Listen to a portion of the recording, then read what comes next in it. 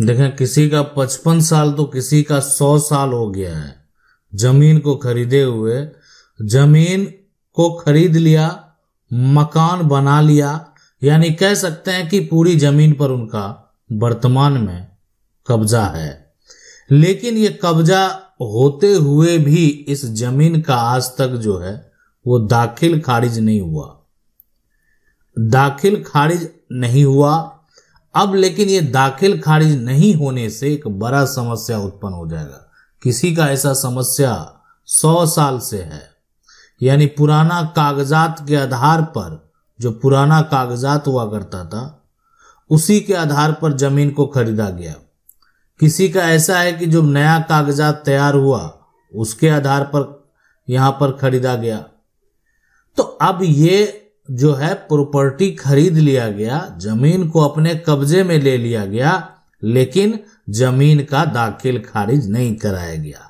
आज जब ये मामला पुराना है, दाखिल खारिज के लिए ये तीनों व्यक्ति, तीनों भाई प्रयास करते हैं और इनका दाखिल खारिज नहीं होता। इसी बीच में एक बड़ा समस्या उत्पन्न ले लिया इनके साथ, जो एक कह सकते हैं इतना बड़ा समस्या था कि सोच नहीं सकते हैं कि यह भी हो सकता है।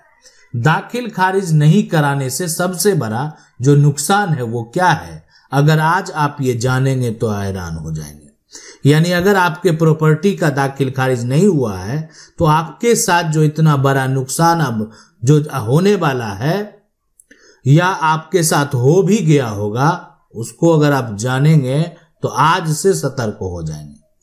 ठीक है ये ज, ज़मीन का जो है एक तरह से खरीद बिक्री हो चुका है पचपन साल पहले ही। है ना? इस ज़मीन को मान लेते हैं सौ साल पहले ही बेचा गया।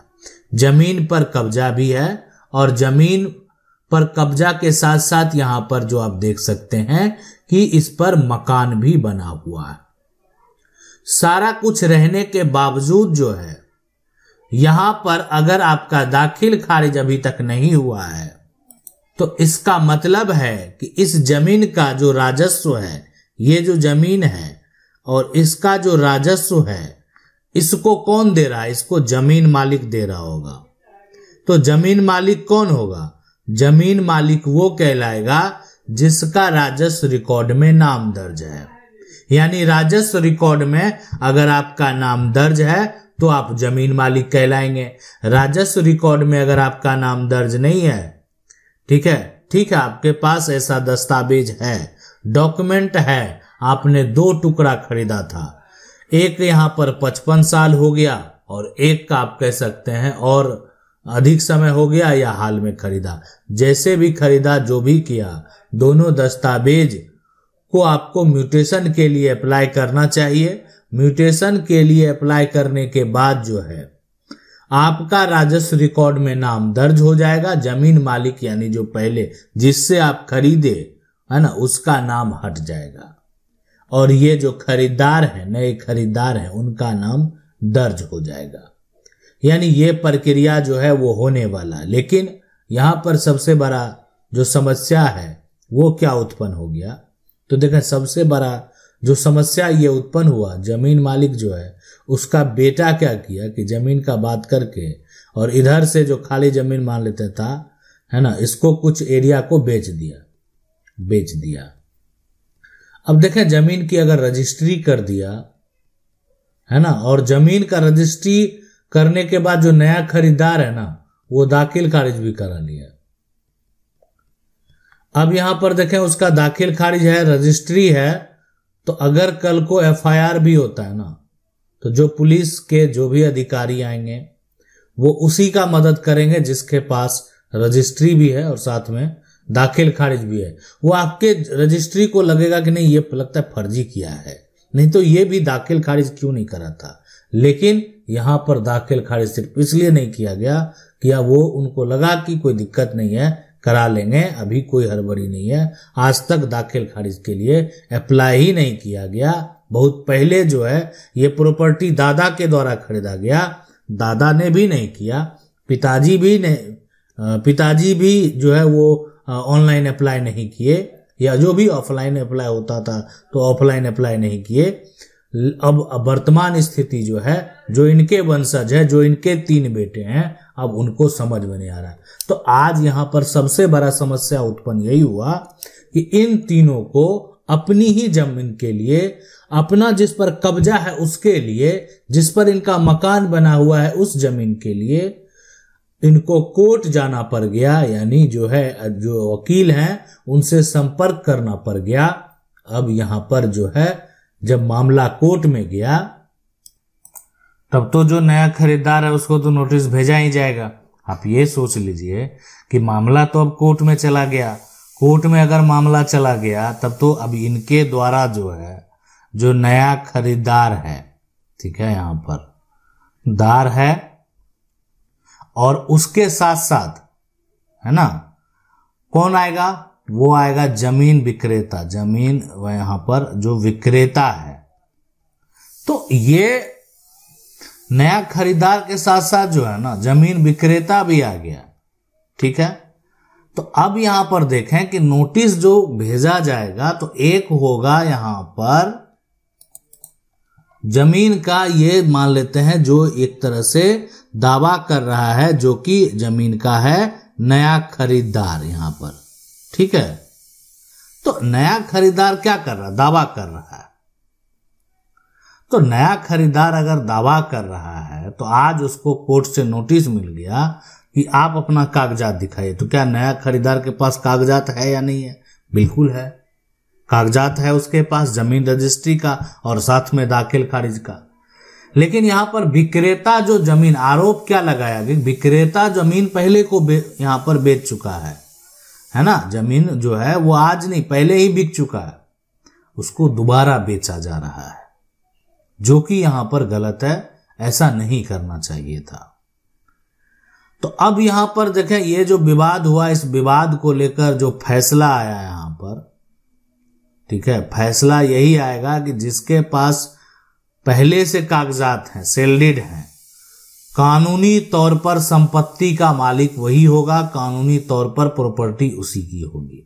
दोबारा अगर जो है यहाँ पर ज़मीन का रजिस्ट्री, ज़मीन विक्रेता दोबारा अगर ज़मीन को बेच भी दिया ना तो उसको संपत्ति का जो है ना, वो मालिकाना हक जो है वो प्राप्त नहीं होने वाला।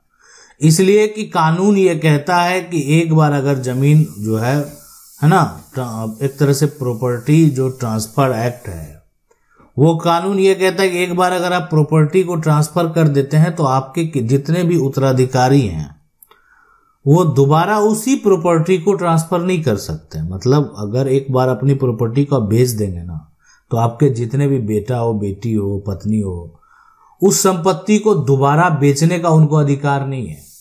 हाँ ठीक है, वो अपने हक की बात कर सकते हैं। अगर उनका कानूनी अधिकार है, उसकी बात वो कर सकते हैं, दोबारा बेच नहीं सकते हैं। और यहाँ पर क्या हुआ? विक्रेता ही बन गया, कौन? जो यहाँ पर एक तरह से उनका बेटा है, ज़मीन मालिक जो पहले बेचा था, उसका बेटा विक्रेता बन गया। ठीक है, अब यहाँ पर नया खरीदार तो तैयार होगा ही। कोई अगर ज़मीन है और कीमती ज़मीन को अगर आप सस्ते पर बेचें, सस्ते रेट में बेचें तो आपको खरीदार यहाँ पर बहुत सारे मिल जाएँगे। खरीदने वाले बहुत सारे मिल जाएँगे। तो इसीलिए प्रॉपर्टी की अगर बात करें तो प्रॉपर्टी आपके साथ ये समस्या हो सकता, कहीं पर भी। अगर आपने प्रॉपर्टी को खरीदा है और आज तक दाखिल खारिज नहीं कराया है और अभी तक आपको किसी प्रकार का कोई दिक्कत नहीं हुआ, ठीक है, कोई बात नहीं लेकिन आज आपको उस ज़मीन का दाखिल खारिज म्यूटेशन के लिए अप्लाई कर देना चाहिए, नहीं करेंगे भविष्य में किसी न किसी प्रकार का कोई भी दिक्कत हो सकता है। अब है कि यहाँ पर देखें अप्लाई करने की जो प्रक्रिया है हर राज्य में जो राज्य सरकार के द्वारा है, वहाँ पर जो भी राजस्व का रेवेन्यू का विभाग है, उसमें जो सरकार के कर्मचारी हैं, है ना, पटवारी हैं, सभी तैनात होते हैं कि आपका जो यहाँ पर जो बैनामा है, उसको देखने के बाद है ना? आपका जो सेलडीड है उसको देखने के बाद, उसको वेरीफाई करने के बाद, यानी वो म्यूटेशन के लिए एक तरह से क्या करते हैं? आदेश दे देते हैं। लगता है नहीं सब कुछ सही है। तो म्यूटेशन के लिए जो है वो आदेश दे देते हैं, उनका म्यूटेशन हो जाता है। और म्यूटेशन हो जाता है तो अब नया जो खरीदार है, जिसके पास ये, है ना, एक तरह से ये कागजात था, जिसके पास ये सेल था अब वही क्या करेगा? सरकार को राजस्व देने लगेगा। मतलब सरकार को ज़मीन का जो टैक्स है, अब देने वाला कौन होगा? अब देने वाला नया खरीदार होगा। तो ज़मीन का जो है, पुराना कागजात है, नया कागजात है। बहुत सारे लोगों के साथ ये भी समस्या है कि उनके पास जो ज़मीन का कागजात है, वो पुराना है। उनके लिए क्या विकल्प है, वो भी जान लीजिए। कागजात जो है ना, वो वो कागजात है, यानी जो पुराना ज़मीन का, पुराना जो खतियान होता था, उसी से ज़मीन का रजिस्ट्री है। लेकिन आज तक दाखिल खारिज नहीं हुआ। अब तो वो ज़मीन किसी दूसरे के नाम पर भी चला गया है। लेकिन पुराना खतियान से ज़मीन का रजिस्ट्री है। ज़मीन का रजिस्ट्री जो है यहाँ पर है। अब पुराना खतियान से ज़मीन का रजिस्ट्री है। लेकिन इस ज़मीन का आज तक म्यूटेशन नहीं हुआ है। यानी इस ज़मीन का आज तक दाखिल खारिज, और आज तो दाखिल खारिज के लिए अप्लाई करना भी संभव नहीं है। मतलब ऑनलाइन अप्लाई भी नहीं किया जा सकता है। इसलिए कि वो जो दस्तावेज़ है, वो अप्लाई करने का इजाज़त ही नहीं है। तो आखिर इस तरह के डॉक्यूमेंट का क्या होने वाला है? कैसे अधिकार मिलेगा? यानी अगर आपका भी ऐसा समस्या है तो आप हमें कमेंट ज़रूर करें। हम आपको, यानी जल्द इससे संबंधित जो रास्ता है, वो बता देंगे। अगर आपका ऐसा समस्या है तो इस टॉपिक को भी लेकर आएँगे, ताकि आपको ये समस्या दोबारा ना हो। आशा करते हैं वीडियो अच्छा लगा होगा। वीडियो से वीडियो को लाइक ज़रूर कर दें। चैनल को पहली बार देख रहे हैं सब्सक्राइब करके। जो बेल आइकन है, उसको ज़रूर दबा लें। मिलते हैं अगले वीडियो में, तब तक के लिए जय हिंद।